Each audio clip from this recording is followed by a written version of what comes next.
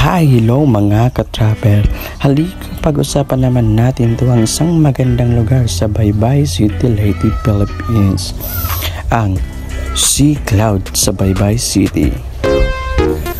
Travelers, travelers, don't forget to like and subscribe and click the button bell for updated ka sa mga bagong videos ko.